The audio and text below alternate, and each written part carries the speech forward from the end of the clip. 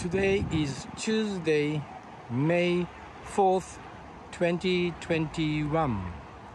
It's about uh, 2 o'clock in the afternoon. Current temperature is 16 degrees Celsius. We have a nice day today. Not too not cold, not too hot. And the river condition hasn't changed much. Um, compared to the last time I reported from here. Water color is kind of nice, dark greenish color. Water level is still high.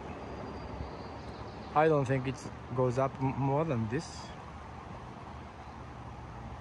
So regular fishing season is over.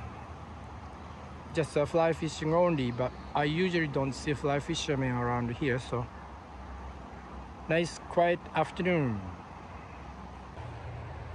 I see only angler here today. He's a fly fisherman. Lots of water would be difficult to hook some fish, but at least he can have a good time. Here is the nearby the Peach Road parking area.